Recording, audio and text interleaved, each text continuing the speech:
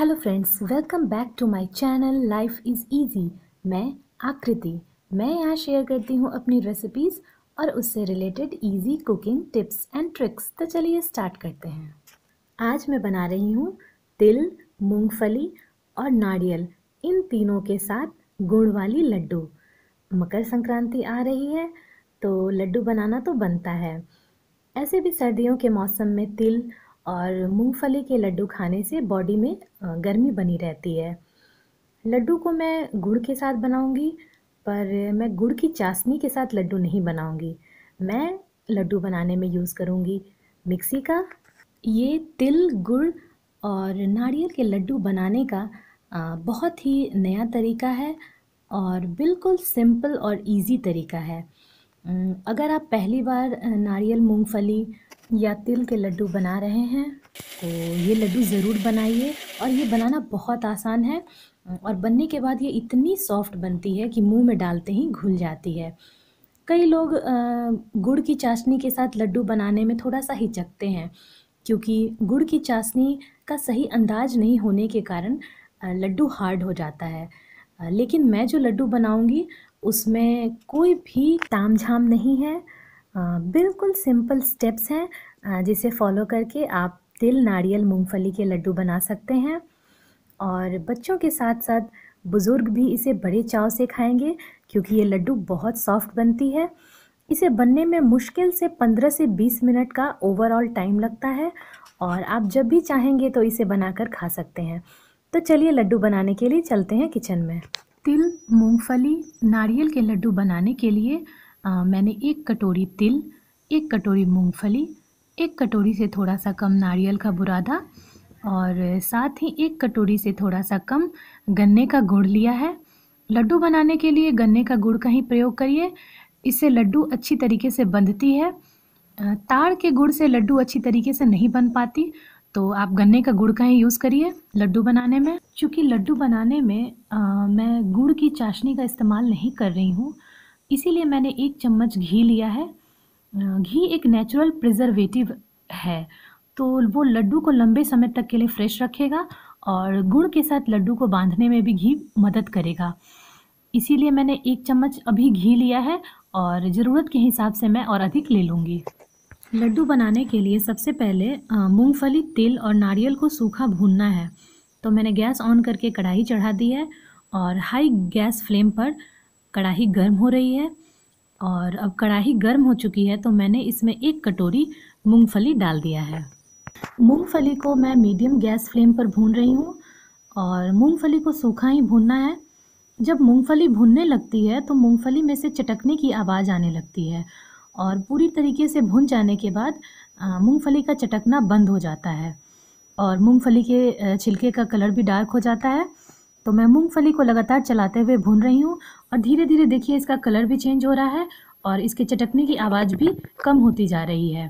तो मूंगफली पूरी तरीके से भुन गई है, इसका कलर देखकर समझ में आ रहा है और गैस का फ्लेम मैंने ऑफ़ कर दिया है और मूंगफली के ठंडे होने के बाद मैं इसका छिलका उतार लूँगी। जब तक मूंगफली ठंडी हो रही है तब तक तिल भून लेते हैं। उससे पहले मैंने तिल को एक प्लेट में डाल लिया है और कंकर वगैरह चेक कर रही हूँ। क्योंकि तिल में कंकर रह जाने पर लड्डू का जायका ख़राब हो जाता है तो तिल को मैंने चेक कर लिया है और उसी कढ़ाई में low to medium gas flame पर मैं तिल डालकर तिल को भून रही हूँ और तिल को लगातार चलाते हुए भूनना है। तिल को हमें ज़्यादा नहीं भूनना है। तिल को ज़्यादा भूनने पर खाने में ये करवी लगने लगती है तो इसे दो से तीन मिनट तक भूनने पर ही इसमें से खुशबू आने लगती है और भूनने पर इसका साइज़ भी बढ़ जाता है। तो तिल का कलर जैसे ही हल्का सा चेंज होगा, वैसे ही गैस को ऑफ़ कर देना है।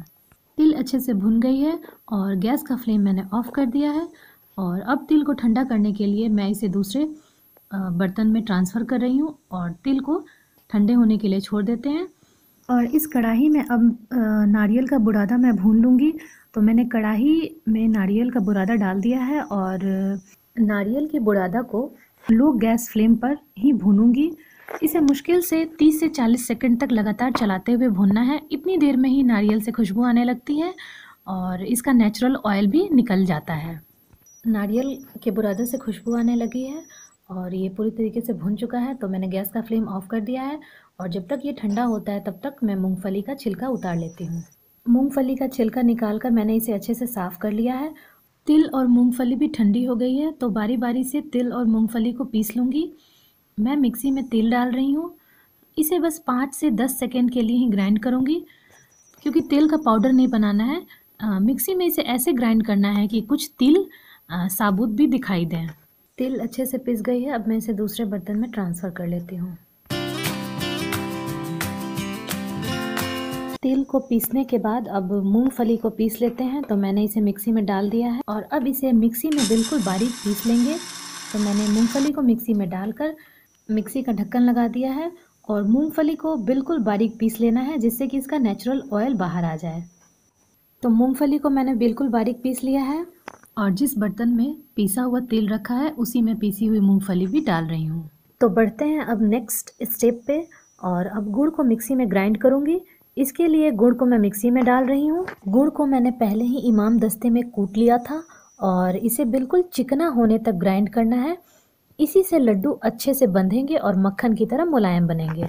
तो देखिए गुड़ को ग्राइंड करने पर आ, कुछ इस तरीके से ये हो गया है और गुड़ को अब चिकना करना है तो इसमें मैं आधा चम्मच घी डाल रही हूँ और इसे फिर से ग्राइंड करने के बाद देखिए ये कितना चिकना हो गया है। इससे लड्डू बहुत ही टेस्टी और सॉफ्ट बनेगा। तिल मूंगफली और गुड़ मिक्सी में अच्छे से ग्राइंड हो गए हैं।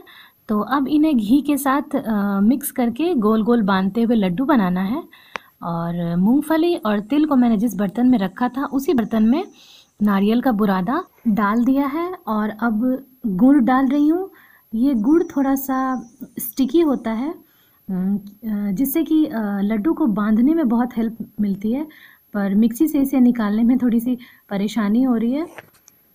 गुड़ को मैंने मिक्सी से निकाल लिया है और अब गुड़ को मूंगफली, तिल और नारियल के बुरादा के साथ अच्छे से मिक्स करना है ताकि गुड़ पूरी तरीके से मिक्सचर में मिल जाए। तो मैं इन्हें अच्छे तरीके से मिला रही हूँ। गुड़, तिल, मूंगफली और नारियल के बुरादे में अच्छी तरीके से मिल गया है, आप देख सकते हैं। तो अब इस मिक्सचर को मैं हाथ से दबाकर चेक कर लेती हूँ कि ये अच्छे से बंध रहा है या नहीं। ये बंद तो रहा है, पर मैं इसमें आधा चम्मच घी मिला रही हूँ। इससे लड्डू और आसानी से बंधेगा। घी डालने के बाद इसे एक बार फिर से अच्छी तरीके से मिक्स कर रही हूँ।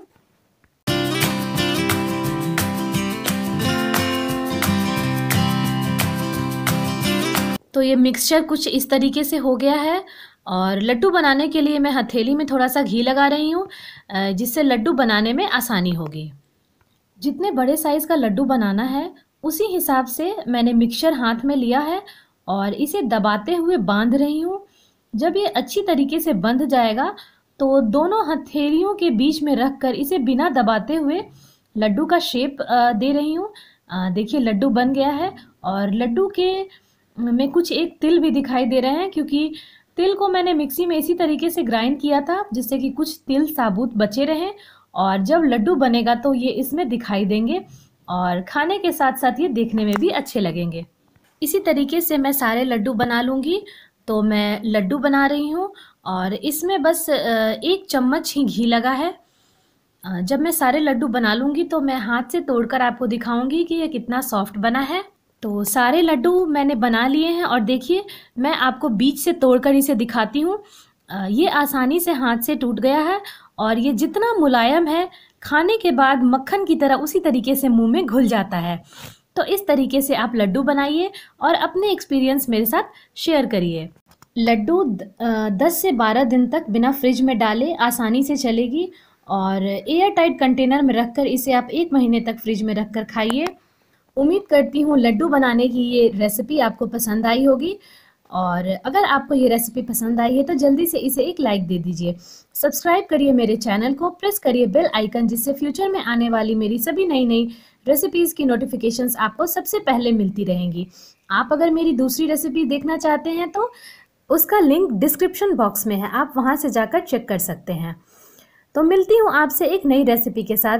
तब तक हेल्दी खाइए, खुश रहिए।